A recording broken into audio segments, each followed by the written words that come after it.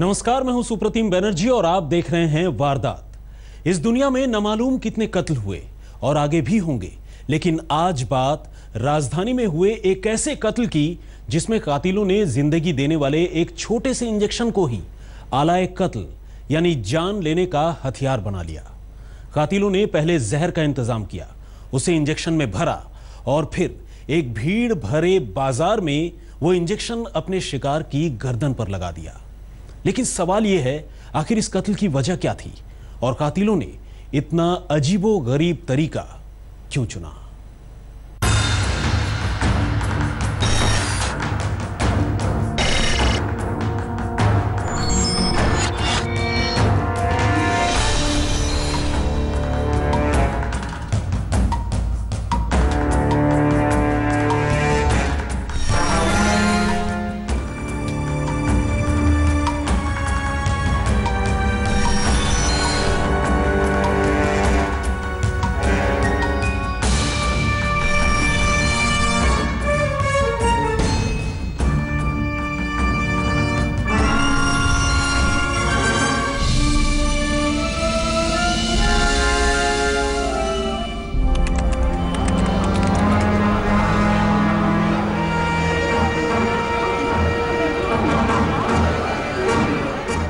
दफ्तर से बाहर निकलकर वो पैदल ही अपने घर की तरफ़ चला जा रहा था।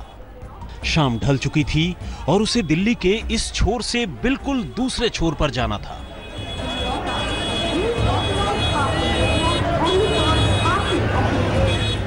इस वक्त उसके साथ उसके कुछ दोस्त भी थे जो आपस में बातें करते हुए जा रहे थे। लेकिन तभी कुछ ऐसा हुआ जिसने उसके मुँह से चीख निकाल दी। उसे अचानक अपनी गर्दन में पिन चुभोने जैसी किसी तेज दर्द का एहसास हुआ। और जैसे ही उसने अपनी गर्दन पर हाथ रखा, उसका हाथ खून से लाल हो गया। पीछे मुड़ते ही उसने एक लड़के को देखा, जो भागने की कोशिश कर रहा था। उसने बगैर वक्त गंवाए लड़के को दबोच लिया। असल में यही उसका हमलावर था, जिसने पीछे से उस पर वार किया था। ये सब कुछ देखकर उसके दोस्त भी हरकत में आ गए। अब उसका हमलावर भीड़ के बीच काबू किया जा चुका था। लेकिन तब तक गर्दन में लगे जख्म की वजह से उसकी हालत बिगड़ने लगी। वो बेहोश होने लगा। उधर लोगों ने पकड़े गए लड़के के हाथ में एक इंजेक्शन देखा, जिसमें थोड़ी सी दवाई जैसी कोई चीज़ बाकी रह गई थी। दरअसल ये हमला हुआ था कोटक महिंद्रा बैंक के एक नौजवान कैशियर, रवि कुमार पर। रवि रोज की तरह इस दिन भी बैंक से अपना कामकाज निपटाकर द्वारका अपने घर के लिए निकला था। लेकिन जिस तरह उस पर पीछे से हमला किया गया, उसे देखकर ऐसा लग रहा था कि हमलावर शायद उसे निशाना बनाने के लिए पहले से वहाँ घात लगाकर बैठा था। जल्द ही बात पुलिस तक पहुँची और हमलावर थाने तक। लेकिन उधर अस्पताल में रवि की हालत लगातार बिगड़ रही थी। गर्दन में चुभोई गई एक सुई ने उसे एक ही झटके में जिस्मानी तौर पर तोड़कर रख दिया था। डॉक्टरों ने लाख कोशिश की, लेकिन 24 घंटे गुजरते गुजरते वो हो गया जो नहीं होना चाहिए था। रवि की जान चली गई। जी हाँ, एक सुई के वार से रवि मारा गया।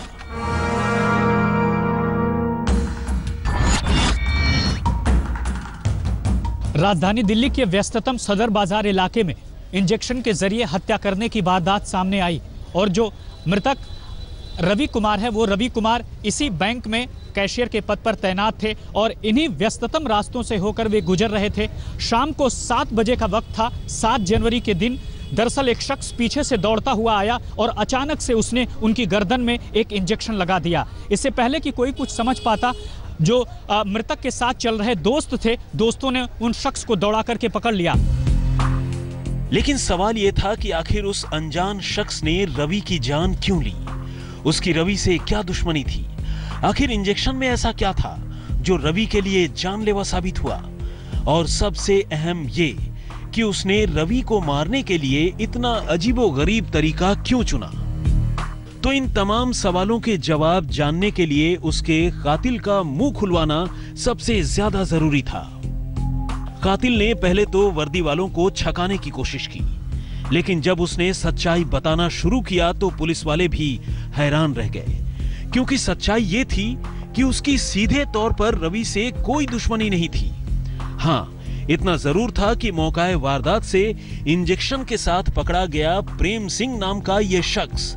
रवि के ससुराल वालों का पड़ोसी था और उसने पूछताछ में बताया कि रवि के कत्ल के पीछे असल में वो नहीं, बल्कि किसी और का हाथ है। उसने तो सिर्फ़ इस वारदात को अंजाम दिया है और इसके बदले में उसे तीन लाख रुपए मिलने हैं। यानी रवि का कत्ल सुपारी लेकर किया गया और जब कातिल ने साजिश रचने वाले का नाम लिया तो एक बार फिर हर कोई हैरान था। जानते हैं क्यों? क्योंकि रवि का इस शख्स से भी सीधे तौर पर कोई लेना देना नहीं था, बल्कि वो तो अपने कत्ल की साजिश रचने वाले को जानता तक नहीं था। पुनीत शर्मा के साथ राम किंकर सिंह, दिल्ली, आज तक। इस दुनिया में सबसे ज़्यादा कत्ल दुश्मनी के चलते ही होते हैं, लेकिन रवि का कत्ल जिस वजह से हुआ, वैसा कम ही देखने को मिलता है। रवि न तो अपनी जान लेने वाले को जानता था और न ही कत्ल की साजिश रचने वाले शख्स को। लेकिन इसके बावजूद वो न सिर्फ़ बेमौत मारा गया, बल्कि कातिलों ने कत्ल के लिए एक ऐसा अजीब तरीका ढूंढा, जिसकी मिसाल पूरी दुनिया में इक्के दुक्के से ज़्यादा ढूंढे नहीं मिलती।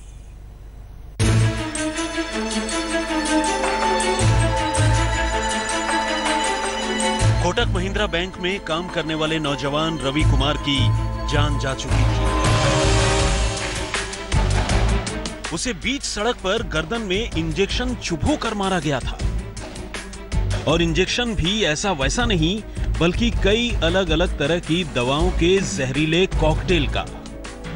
लेकिन कत्ल का यह तरीका जितना अजीब था, इसके पीछे की साजिश कहीं उससे भी ज़्यादा चौंकाने वाली। और इसका मास्टरमाइंड था एक जिम ट्रेनर, अनीश यादव।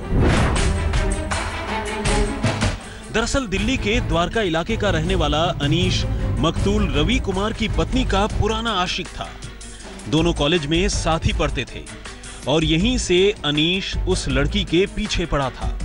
आगे चलकर दोनों की शादी अलग अलग जगहों पर हो गई, लेकिन अनीश ने अपनी बीवी को छोड़ दिया था। इसी बीच उसके दिमाग में अपने पुराने प्यार को दोबारा हासिल करने का फितूर सवार हुआ।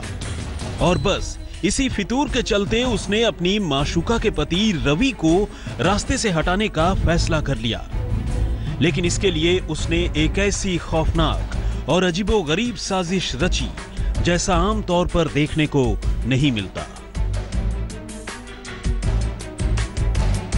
पहले तो उसने पकड़े जाने से बचने के लिए कत्ल का एक फुल प्रूफ तरीका ढूंढा। इंटरनेट खंगाला और इंजेक्शन के जहरीले वार से अपने शिकार की जान लेने का फैसला किया। लेकिन यह काम वो खुद नहीं करना चाहता था। और इसके लिए उसने अपनी माशुका के पड़ोस में रहने वाले एक फिजियोथेरापिस्ट प्रेम सिंह को राज़ी किया। बात तीन लाख रुपए में तय हुई। फिजियोथेरापिस्ट की मदद से अनीश ने कुछ ऐसी दवाओं का पता लगाया, जिनका कॉकटेल इंसानी ज़िंदगी के लिए घातक साबित हो सकता है। अब उसे इन दवाओं की तलाश थी, क्योंकि ये आसानी से मेडिकल स्टोर में नहीं मिलते। और इसी बीच एक मौका अनीश के हाथ आ गया, जब अनीश के जानकार एक पुलिस वाले ने खुदकुशी की कोशिश की। पुलिस वाले को एम्स में भर्ती करवाया गया, और वहीं तीमारदार के तौर पर पहुँचे अनीश ने कुछ बेहोशी की दवाएँ चुरा ली। प्रोमिनेंट हॉस्पिटल से जो उसकी स्टेटमेंट में आया है, एक प्रोहिबिटेड मेडिसिन चुरा ली। और उसके बाद उसने उसमें, जिसका नाम मिडाजोलम है, और फोर्टविन और फिनर्जिन, दूसरी मेडिसिन के साथ उसको कंबाइन किया और वो इंजेक्शन इसने डिसीज को दिया। कत्ल से पहले दोनों ने एक दुकान से प्रेम के लिए नकाब भी खरीदा। यह और बात रही कि दोनों की तस्वीरें दुकान में लगे सीसीटीवी कैमरे में कैद हो गई। साजिश के मुताबिक प्रेम को अपने शिकार रवि की गर्दन में इंजेक्शन मारकर भाग जाना था। अनीश ने उसे यहाँ तक कह रखा था कि अगर वो पकड़ा भी जाए तो भूल कर भी उसका नाम न ले। और बदले में वो उसे कानूनी तौर पर भी केस से बचने में पूरी मदद करेगा। लेकिन इत्तेफाक से इंजेक्शन मारने वाला प्रेम मौके से ही पकड़ा गया और पुलिस इंटरोगेशन में टूट भी गया। और इसी के साथ कत्ल की पूरी साजिश सामने आ गई। जब सस्टेन्ड इंटेरोगेशन और इसकी मोबाइल डिटेल्स को चेक किया गया वी फाउंड कि इसने वास्तव में एक अनीश यादव, जो कि जिम ट्रेनर है और पालम पालम कॉलोनी में साउथ वेस्ट डिस्ट्रिक्ट में वहाँ का रहने वाला है, उसके कहने पर यह किया। फर्दर इन्वेस्टिगेशन में जो रात भर हमारी इन्वेस्टिगेशन चली वी फाउंड कि ये व्यक्ति ने डेढ़ लाख रुपए अनीश यादव ने 1.5 लाख रुपीस इसके अकाउंट में भी ट्रांसफ़र किए थे। और जो रियल स्टोरी है, अनीश यादव मिस्टर रवि कुमार की जो वाइफ हैं, उनको उनसे शादी करना चाहता था। उधर बेगुनाह रवि अपने खिलाफ चल रही इस साजिश से पूरी तरह अनजान था। अनीश और प्रेम ने उसे पहले भी एक बार इंजेक्शन से मारने की कोशिश की थी। लेकिन तब रवि को ज़्यादा नुकसान नहीं हुआ था और वो इस बात को भूल चुका था। तो पहले अक्टूबर में 25 तारीख को एक इंजेक्शन लगा था तो उस समय हमें पता लगा तब यार तब तो ठीक हो गया था पीठ में मारा था। ऑटो किसने किया? है? तो उसको देख पीछे से पीठ में किया था अटैक और इस बार जो है सामने गर्दन पे किया यहाँ पर और गर्दन पे मार करके रवि ने एकदम घूमा उसको पकड़ लिया। गिरफ़्तार आरोपी प्रेम सिंह पेशे से फिजियोथेरेपिस्ट है। जिसने एक बार पहले भी मृतक पर हमला किया था। लेकिन उस वक्त उसकी किस्मत अच्छी थी और वो बच गया था। उधर मौके से पकड़े गए कातिल प्रेम सिंह की निशानदेही पर जब पुलिस ने साजिश रचने के इल्ज़ाम में अनीश को गिरफ़्तार किया तो और भी कई बातें पता चली। ये साफ़ हुआ कि अनीश पहले भी गैंगरेप के एक मामले का मुलजिम रह चुका है। उसके खिलाफ द्वारका में ही साल 2010 में गैंगरेप का एक मुकदमा दर्ज हुआ था। और इन दिनों वो जमानत पर था। दूसरी ओर उसकी पत्नी ने भी उसके खिलाफ दहेज के लिए सताने का मुकदमा कर रखा था। लेकिन इतना सब कुछ होने के बावजूद उसके होश ठिकाने नहीं आए और उसने सिर्फ़ अपनी सनक और एक तरफा आशिकी के चलते एक बेगुनाह की जान ले ली। इश्क में नाकाम सन की आशिक ने कत्ल के लिए एक अनोखा तरीका इजाद किया। कत्ल के लिए उसने ना तो किसी बंदूक का इस्तेमाल किया और ना ही किसी धारदार हथियार का, बल्कि कत्ल के लिए इस्तेमाल किया गया जहरीली दवाओं का एक इंजेक्शन। और इस इंजेक्शन के निशाने पर था उसकी एक्स गर्लफ्रेंड का पति रवि। लेकिन आखिरकार पुलिस ने इस मामले में सभी आरोपियों को गिरफ़्तार कर लिया है। कैमरामैन विपिन और राम किंकर सिंह के साथ पुनीत शर्मा, दिल्ली, आज तक। सड़क पर चलते चलते कोई आता है, टकराता है, हल्की सी चुभन होती है। और फिर इंसान मर जाता है। राजधानी में इंजेक्शन किलर का जो खौफ आज है, वैसा दुनिया के अलग अलग देशों में एक आध बार पहले भी दिखा है। मगर अब तक उस अम्ब्रेला किलर का पता नहीं लग सका, जिसके छाता खोलते ही एक इंसान की आँखें बंद हो गई थी।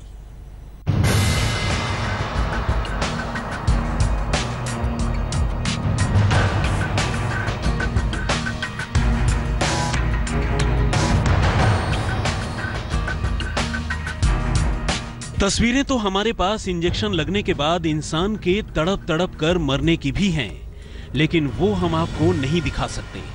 ये इसलिए दिखा रहे हैं कि आप देखिए, समझिए और सावधान रहिए, ताकि अगली बार आपकी तरफ़ आते हुए किसी इंसान के हाथ में चाकू या पिस्तौल हो तो फिर भी गनीमत समझिए। मगर इंजेक्शन हो तो हर हाल में रास्ता बदल लीजिए। डराना कभी भी हमारा मकसद नहीं रहा। हम तो बस ये चाहते हैं कि आप उन तक सही सलामत पहुँचे जो घर में आपका इंतज़ार कर रहे हैं। खुदा करे कभी किसी के साथ वैसा न हो जैसा दिल्ली के रवि कुमार के साथ हुआ। क्योंकि जो इंजेक्शन वाली मौत रवि को दी गई, भले उसकी मिसाल हिंदुस्तान में न मिलती हो, लेकिन ऐसी मिसालें इस दुनिया में मौजूद हैं। इंजेक्शन से कत्ल को अम्ब्रेला एसेसिनेशन भी कहते हैं। हालाँकि कायदे से इस कत्ल के तरीके और नाम का कोई जोड़ बैठता नहीं है। मगर ये इसलिए क्योंकि जिस्म में जानलेवा ड्रग्स को सबसे पहले अम्ब्रेला यानी एक छाते के ज़रिए ही इंजेक्ट किया गया था। बुल्गारिया के महान लेखक जॉर्जी मार्कोव अपनी तरह की इस अनोखी मौत के पहले शिकार बने, जो बुल्गारिया से निकाले जाने के बाद वहाँ की सरकार के निशाने पर थे, जिसकी वजह से उन्होंने ब्रिटेन में शरण ले रखी थी। साल 1978 में मार्को बीबीसी के लिए काम करते थे और 8 सितंबर के दिन वो घर से निकलकर लंदन के वाटरलू ब्रिज से होते हुए अपने दफ्तर की तरफ़ जा रहे थे। मगर उन्हें इस बात का कतई अंदाज़ा नहीं था कि कोई उनका पीछा कर रहा है। सड़क पर बस का इंतज़ार करते हुए मार्कोव को महसूस हुआ कि उनकी जांघों में कोई चीज़ चुभी है। पलटकर देखा तो एक आदमी सड़क पर गिरे, अपने छाते को उठाकर भागने लगा। शुरुआत में लगा कि यह बहुत मामूली सी टक्कर है, मगर जल्द ही यह दुनिया के लिए सबसे बड़ी मिस्ट्री बन गई, क्योंकि इस टक्कर के तीन दिन बाद मार्कोव की मौत हो गई। इस अजीबो गरीब मौत का ज़िक्र आज तक किया जाता है। हादसे के रात उन्हें तेज बुखार चढ़ा और अस्पताल में भर्ती होना पड़ा। हालत हर गुजरते वक्त के साथ बिगड़ती जा रही थी। धीरे धीरे उनके जिस्म के सभी ऑर्गन ने काम करना बंद कर दिया। डॉक्टर भी हैरान रह गए कि मार्कोव की मौत आखिर हुई कैसे। मगर रिपोर्ट में कुछ ऐसा था जिसे डॉक्टर पकड़ नहीं पा रहे थे। ये पिलेट जिसे राइसिन नाम के जहरीले केमिकल में डुबोकर मार्कोव के शरीर में डाला गया था। ब्रिटेन में भी पहले कभी ऐसी मिसाल पेश नहीं आई। उस वक्त न तो राइसिन का कोई एंटीडॉट था और न ही डॉक्टर इसके मरीज़ के लिए कुछ कर सकते थे, सिवाय उसे मरता हुआ देखने के। आज तक ब्यूरो। ब्रिटेन में अम्ब्रेला एसेसिनेशन यानी छाते वाले कत्ल ने जिस तरह जार्जी मॉर्कोव की हत्या की, वैसी मिसाल दुनिया में और देखने को नहीं मिलती। हाँ सेकेंड वर्ल्ड वार के दौरान रूस में ऐसी कई मौतें ज़रूर हुई थी। हिंदुस्तान में तो रवि कुमार की हत्या अपनी तरह का पहला मामला है। और ऐसे में जहन में यह सवाल उठना भी लाजमी है कि जिन ड्रग्स का इस्तेमाल दर्द मिटाने के लिए होता है, वो इतने जहरीले कैसे हो जाते हैं कि किसी की जान ही चली जाए?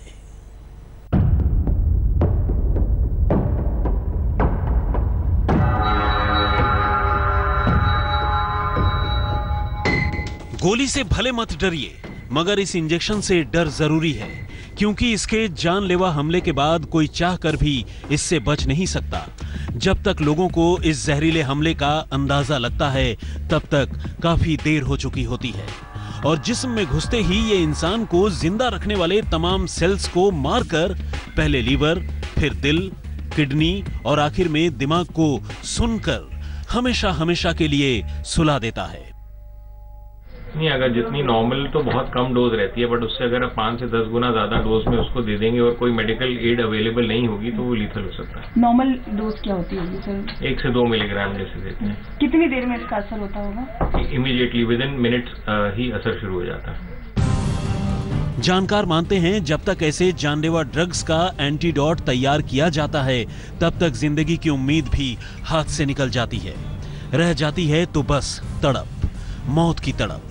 जैसी दिल्ली के रवि कुमार को हुई। रवि को एक फिजियोथेरेपिस्ट की मदद से अनीश नाम के एक जिम ट्रेनर ने न्यूरोटॉक्सिन और मिडजोलम नाम की हेवी डोज दवाओं का इंजेक्शन दिया। दोनों दवाओं का कॉम्बिनेशन लीथल यानी जानलेवा माना जाता है। रवि के शरीर में घुसते ही इसने जहर का काम किया और उसकी मौत हो गई। जो सिडेशन है मिडाजिलम या इस तरह की जो दवाइयाँ हैं, ये आमतौर पे लोग सुसाइड अटेम्प्ट के लिए यूज़ करते हैं बट एज फार एज जो वो है कि मर्डर वगैरह के लिए ऐसे नहीं देखा गया है। न्यूरोटॉक्सिन कितना जहरीला है, इसका अंदाज़ा इसी बात से लगाया जा सकता है कि ये अफ्रीका में पाए जाने वाले एक जहरीले सांप के जहर में मौजूद होता है। इसकी ज़्यादा तादाद जिस्म में पहुँच जाए तो मौत तय है। इसके अलावा रवि पर हमले के लिए इस्तेमाल किए गए दूसरे ड्रग मिडजोलम का इस्तेमाल तो यूँ डिप्रेशन और सांस की तकलीफ़ में किया जाता है। मगर इसके साथ एक चेतावनी भी आती है कि किसी भी कीमत पर इसे डॉक्टरों की निगरानी में ही लिया जाए। क्योंकि जरा भी ऊंच नीच हुई तो पहले ब्रेन हेमरेज और फिर मौत तय है।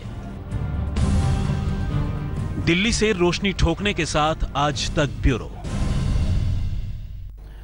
तो वारदात में फ़िलहाल इतना ही, लेकिन देश और दुनिया की बाकी खबरों के लिए आप देखते रहिए आज